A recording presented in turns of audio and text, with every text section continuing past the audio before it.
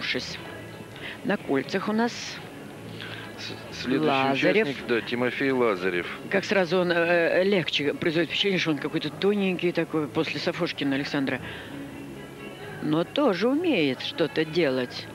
Вот. Смотрите, как здорово, прям четко повесил, легко-легко себе. А руки-то в кресте. И юный парень молодой еще.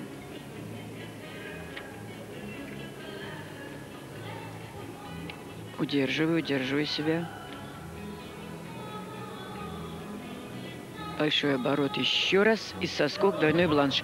Двойной сальто прогнувшись. Вот и, и Ну, он. если учесть, что на предварительном этапе у него была очень высокая оценка, 9,5, Да. и сейчас есть он, возможность.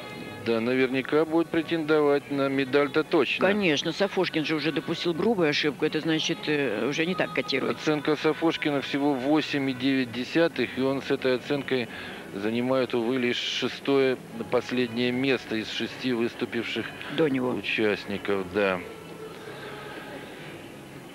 Ну, а э, еще осталось выступить Сергею э, Харахордину.